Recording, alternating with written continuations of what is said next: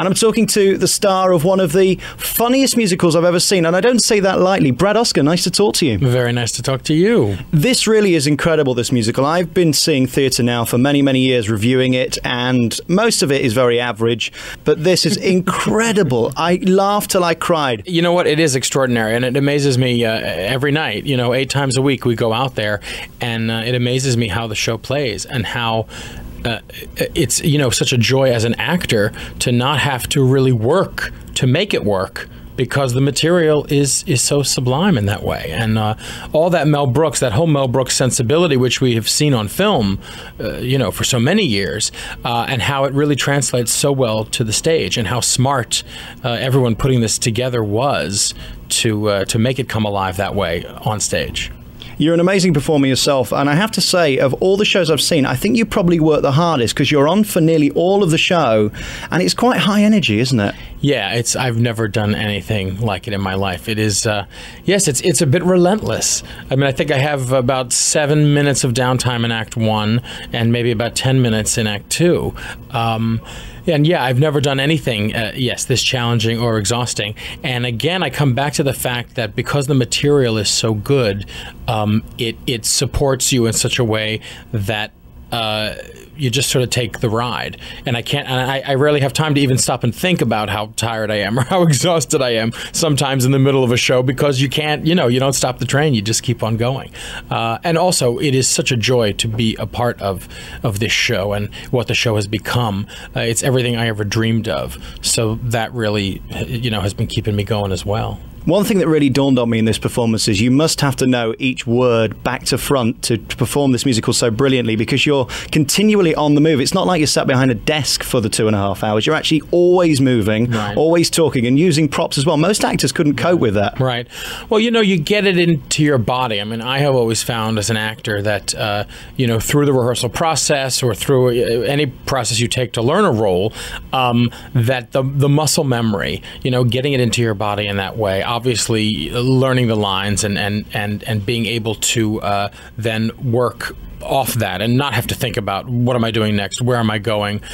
Um, and now that I've been playing the role for well over six months, it uh, it really is totally ingrained in my being, and I uh, and I rarely, although there are those moments, because when you do something eight times a week and you do sort of uh, not go on automatic pilot as much as just trust that everything is there, and there will be the occasional moment when I will think, "Oh my God, what is my next line?" And uh, but fortunately, it has come to me. I was thinking yesterday. I mean, I saw the second performance of yesterday's um, yeah. grueling endeavour for you, and I thought to myself, so at some point you must meet yourself coming back on the stage from a different performance and wonder whether you're in uh, the first show, the second show, yeah. or which act you're in. Yeah, it is. Doing it twice in a day is is is quite a bear. It is, and uh, there are moments right before I come on stage for that second show uh, when I literally think, "How am I going to do this? How am I going to get through three more hours?" But again, like I said, you just jump on and and it goes, and and, and, and thank God I, uh, I come out the other end. Are you like most comedians and performers that you just wait for the laugh? The minute you get that first laugh, you're off and rocking and rolling. Yeah, I mean, this is um, this show is such a there's such a cyclical uh, an energy that goes between the audience and the performers. And uh, so it does make it harder on the nights when they tend to be quieter which is again just a random sampling of 1700 people who come together every night and create one sound that we hear on stage. And then we judge oh this is a great house not so great oh we hate them whatever. But nonetheless I know they're having a good time.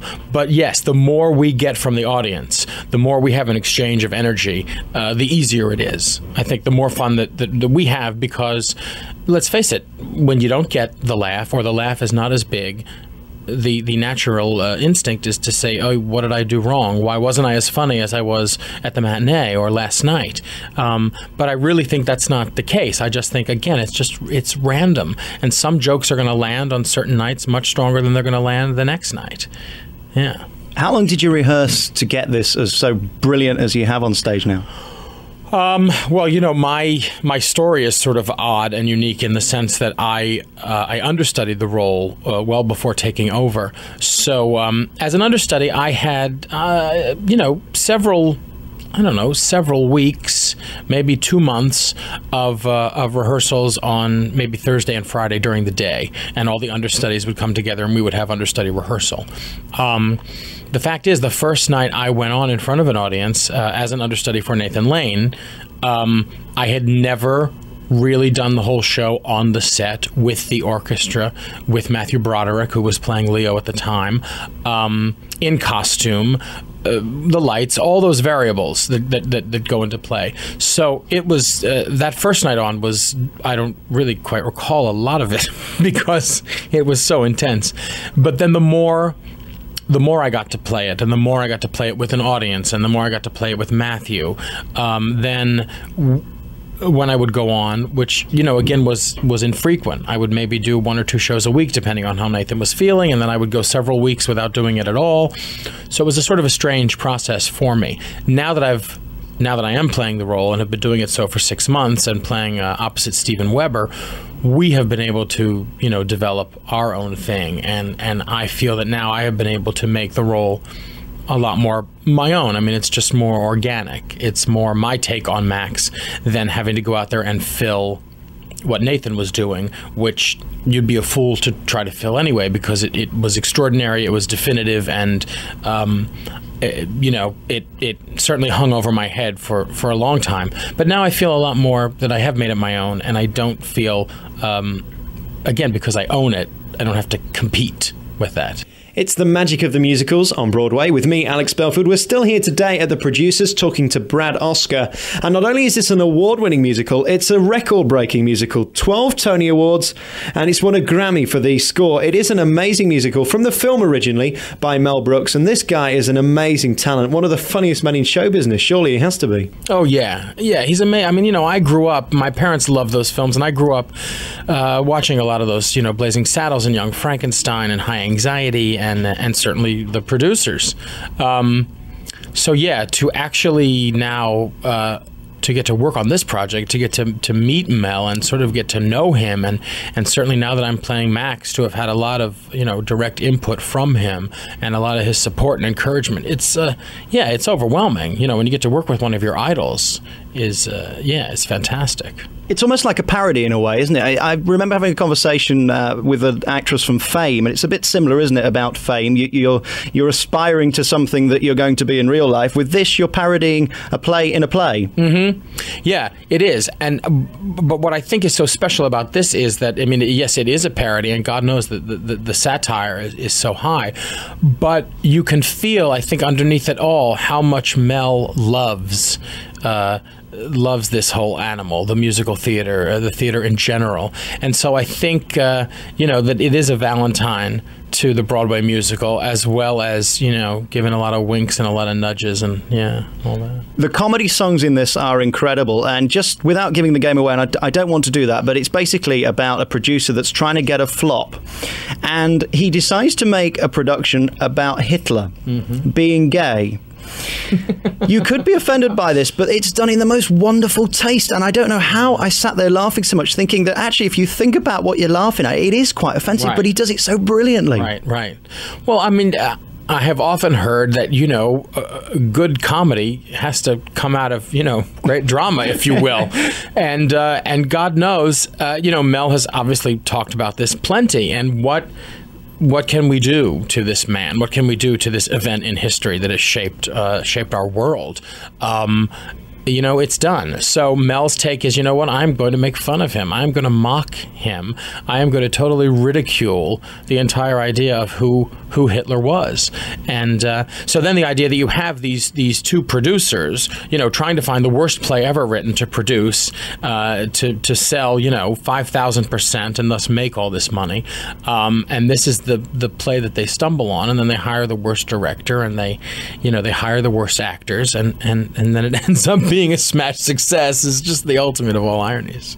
Yeah. My instinct is to want to tell the stories about the different scenes where it's hysterical. We could talk about right. um, a dance in the musical uh, Springtime for Hitler, which mm-hmm. is what the production is that you're hoping is going to flop, right. and you do a certain dance. I can't give the gag away, but that is the funniest right. thing I've ever seen on stage ever with the mirror. Yeah. You know, I have to come and see it. But if you can't come over to Broadway to see it, I hear whispers that it could be coming to the West End. Oh, could be. Oh, yeah. I think it, it definitely will be. And I, I don't know if uh, dates are set at this point, but uh, oh, yeah. But I certainly think it should come over there and play the West End, of course. Would you like to come with it if it did come over? Uh, yeah, I would love to. Uh, I, I, actually, as I had told you, I was just in London a couple weeks ago uh, for the first time, actually, as an adult, and uh, had an absolutely fabulous time and, and loved seeing theater in the West End and just walking around the West End and, and taking it in in the way that as a, as a kid, I always used to come to New York City. I was born and raised in Washington, D.C., not that far away. And I would come up here, and this was, you know, this was Fantasyland to me. This was what I always dreamed of doing, and so to to be up here and to walk around Broadway and see all the theaters and the marquees, and uh, and what was great was that you know here I am in my late 30s, and I sort of felt the same way a couple weeks ago, walking around the West End and seeing all of those theaters and all of those marquees, and and uh, seeing all these great theaters that I've heard so much about, but had never actually laid eyes on. So uh, I, I absolutely loved it. I, I love the city, and I would I would relish the opportunity to work there. Yeah, and you have a you have a Joe Allen, which made me very comfortable as well, because you know Joe Allen is one of our big haunts here as well. I often go there after after the show. So it was very comfortable to go and uh, and hang out in Joe Allen. And were you very surprised to see that we had McDonald's and Starbucks? Oh no, not at all. I mean, the world. come on, the world now is one big mall. You had yes, you had your McDonald's, your Starbucks. You love the Pizza Hut. I saw so many Pizza Huts. Yes, but uh, but we certainly don't have the pubs that you have, and uh, yeah. You see, for me, coming to Broadway is just magical to see the bigness of it and everything. Is it similar for you coming over to the West End? Yeah, I mean, it, it was totally to walk down Shaftesbury Avenue, and yeah, I totally loved it. I was totally jazzed by it, and saw some great theater too, which was very exciting. Let's talk a little bit about you. First of all, we, you might hear a rumbling in the back, uh, in the back, as if there's something uh, brewing in a cauldron. What what is that thing that's steaming? that's my cauldron full. Of, no, that's my humidifier. that's my humidifier. It started to get cold here in New York City, and uh, and uh, when it tends to get cold, it tends to get dry. And certainly, as a singer and as a as a shouter because God knows I go out there and, and, and, and scream a lot. Um, yeah, when the air gets very dry, it affects my throat. It affects my cords. I just feel uh, the, the, dryness. So yes, I have a humidifier at home. I have a humidifier here in the dressing room. So ideally, yes, to keep things as moist as possible. Okay, well, as long as you don't start calling me darling, that's the only thing. Because you're sounding like an actor, but I don't mind. I suppose that's justified in this in this rather loud and um, hysterical musical. The producers were here today with Brad Oscar. We talked earlier earlier um, about your, your aspirations to come to the West End, and you, you, saw Chitty Chitty Bang Bang when you were over with I Michael Ball, who you were in Aspects of Love with over here. Yes, my first Broadway musical was the uh, yes the American production of Aspects of Love uh, with Michael Ball, in uh, which was done here in 1990. Yeah, so I've known Michael for some time now, and I, I see him every couple years uh, when he would get over here to the states or whatever. But yes, it was great to see him on stage again, and uh, yeah, yeah, I'm very happy for his success. What kind of pressure is put on you by the media and people making opinion? Because these journalists that come to see these shows, I think it's fair to say, don't necessarily have a, a good sense of humour. Uh, they're, they're, quite critical, more than the general public would be. And they can, certainly in the UK, kill a show dead. The exception to the rule is We Will Rock You, which we'll hear from later. Right. Slated by the press, it's the new Queen musical, but it's in fact quite fun. I mean, theatre isn't necessarily meant to be all arty and intelligent right. and educational. It can just be fun, can't it? Right. Oh yes, of course. I mean, it has to be. It has to. I, you know, I think you have to inspire an audience in some way. And so, yes, if you're there to just have fun, maybe have some mindless entertainment, maybe get away from uh, your life for, for two hours, for three hours. I think that's, uh, yeah, that's totally justified. And certainly the critics are coming and they're looking at it from a different perspective and they are judging it by a different set of standards. Um, and I'm sure there are plenty of shows, yes, that didn't did not run and probably could have found an audience. But you know, finding an audience can be a tricky thing when the press unanimously says, you know, this is this is ugh, this is dreck, whatever. Uh, it takes time to cultivate that. Do you distract yourself with the critics' opinions? Do you read them? Do you take it personally, or do you just get on and focus on what you're doing on stage? Um, well, I do read them because I'm often interested to hear what they have to say, and there are certain writers whose whose opinions I I respect or admire. But uh, you know, that's a double edged sword because it because it is so personal what we do. And when you are on the other side of the footlights and you're up there performing in a piece whatever it may be and you um, and you read all these things uh, and you decide maybe what has validity and what doesn't but you know it's all it's it's purely subjective. And so it's very dangerous because if it starts to then sway uh, your own opinion of what you're doing or what piece you're in, that that I think can be dangerous. And uh, and again, because it is all purely subjective, so one has to just believe in in in, in what one is doing and uh, and sort of stick to your guns in that way. This musical certainly has had amazing reviews and, and is critically acclaimed around the world. I was absolutely bowled over by it, and it's been a pleasure talking to you today. It's Brad Oscar, the star of the producers, and uh, thank you very much for talking to us today from the St James Theatre. My pleasure. I look forward to coming back over soon. Yeah, let us know when you do, and uh, we look forward to seeing you on the West End. This is the magic of the musicals on Broadway. We're now going to take a final piece of music uh, before we move on to another production. This is Springtime for Hitler, the big, big song from the show, isn't it? Oh yes, and a ten minute break for me. So you're very relieved. exactly. I get to come up to my dressing room. Yes. This is where you smile and get a, a stiff brandy, maybe, or is it just a, a glass of water? it's just water. I do save the brandy till after the performance. It's been a real pleasure talking to you today, Brad. Thanks very much. Thank you.